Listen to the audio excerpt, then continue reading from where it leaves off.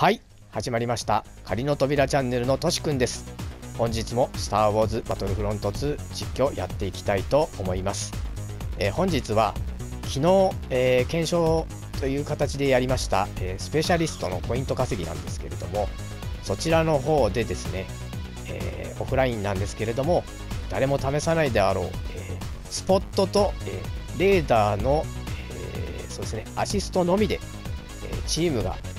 勝つことができるのか。ももしくは、えー、そのポイントだけでですね、えー、ヒーローなどを使っていけるようなポイントがどれぐらい稼げるのかを検証していきたいと思います、えー、カードの方はですねなので昨日と同じでですね賞金稼ぎと、えレーダーに移してサポートをするインフィルトレーション。そして、えサーマルバイノキュラーの強化版をつけまして一切、え、銃を撃たずですねもうカメラマンのようになってですね覗き込んでスポットをしていく、えー、もしくは、えー、レーダーを使ってサポートをしていくという形でポイントの入りを見ていきたいと思います。はい始まりました、えー、キャッシーク攻撃側でやっております、えー、キャッシークを選んだのはこのように開けた場所なので敵をスポットしやすいんではないかということでこのマップにしました。えあすごい数スポットしましたね、えー、211スポットになりました。すごいですね、えー、あとはもう味方に任せて打ってもらいたいと思います、えー、なので雑談なんかをしていきたいかなと思ってるんですけど。あインフィルもちょっと使っておきましょう。あ仲間全員やられてしまったんですかね。あまだいますね。えー、そうですね。今回は、えー、動画の方23回ということでですね、スター・ウォーズ・スコードロン発売まで、え56日とカウントダウンの方が56日となりました、えー、やっているのは相変わらずスター・ウォーズ・バトルフロントなんですがちょっと馬鹿げた、えー、方法でやっております、えー、サポートポイントとスポットで今のところ422ポイント入ってますね。えもうすぐインフィルが終わってしまいます。なのでスポットの方に変えていきたいと思います。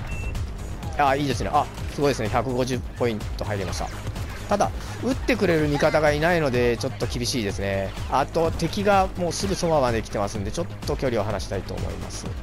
えー、どうやら倒してくれる人がいないのでスポットポイントのみしか入ってない感じになってますね今のところ。たくさん入れる写真を撮るのは難しいですね。あ3人来ました。あモールさんあドゥークさんですね。ドゥークさんがあ、モールさんも来ました。あ、いいですね。今、虐殺タイムなので、サポートしまくってポイントを稼ぎたいと思います。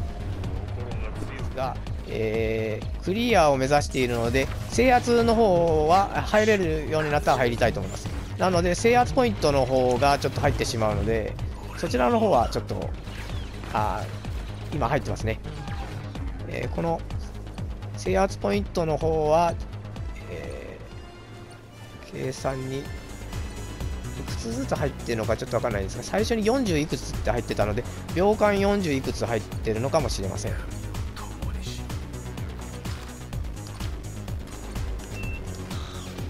えー、モールさんがいてくれるはずなので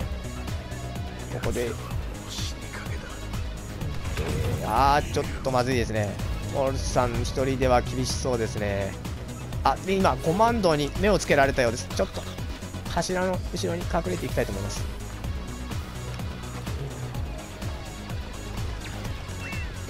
あ、3人来ましたね。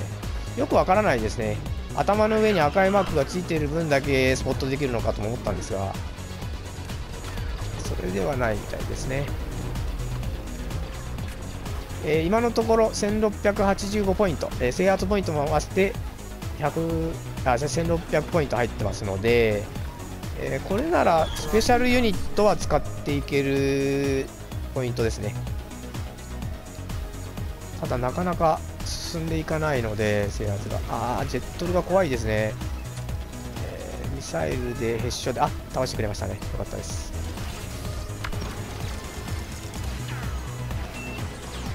えー、2人だけしかスポットできなかったですね。ちょっと厳しいですね。こんなことならグレネードもとか、そしたらど戦った方が早いだろうって話になってきちゃうんで、1回出たいと思います。無理ですね。ちょっと、このこの木とこの鉄の鉄かは分からないですが柱が生命線ですね。えー、っとちょっと雑談ができるような状況ではない感じですね。実はあのアベンジャーズの方のベータテストが本日から始まるらしくてですね。でもうすでにゲームのデータの方はダウンロードしてあるので開始時間が、えー、今日の、えー、夜9時ということで、そちらの方、えもしかしたら動画の方を上げていくかもしれません、えあとですねびっくりしたのが、え PS のですね発表会のようなもので VR のゲームが発表されたらしいんですけども、えななスター・ウォーズの、えゲームがですねベイダー・イモータルというあのオキュラス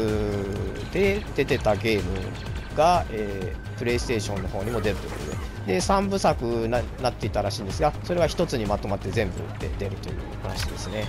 で動画の方を見てきたんですけれどもあの多分ムーブコントローラーを使ってると思うんですけどもね、えー、セイバーを振り回してバシバシと戦ってる映像だったんですが、いや楽しそうだったですね。スター・ウォーズ・スコードロンの方もあの VR 仕様ですけども、えーまあ、要は空中戦があちらで、え陸上戦の方あ倒したいですね、敵を。ですが、そうはいきません。あ、ちょっと、あグリバスさん、目の前にいるんで倒してください。あ、ちょっと、もう、ダメですね。時間がないですね。ちょっと、ここに出入りするしかないですね。私が何か雑談をしようとするとちょっと忙しくなるというああでダースモールさんなんか県外県外というかあのエリア外に行っちゃいましたね。ひどいですね。あ仲間。え分隊の黄色いマークのついた分隊の仲間がどうにかあだいや痛い。ああやられてしまいました。えー、2169ポイントですね。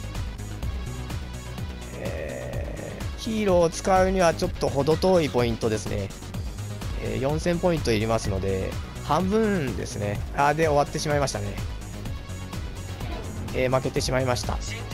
え、今回の検証結果としては、え、スポットとサポートだけでは勝利していくのは無理ということが分かりました。あと、えそうですね、えポイントの方なんですけれども、スペシャルユニットは余裕で使えるぐらいすぐ溜まりましたね。えで、えヒーローユニットに関しては、多分運もあると思うんですが、ポイント4000をサポートのみで稼ぐには相当時間がかかるということ。まあ、仲間がうまければ、